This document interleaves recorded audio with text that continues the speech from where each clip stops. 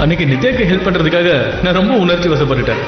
Over acting over emotion எல்லாமே ரொம்ப over ஆயிடுச்சு.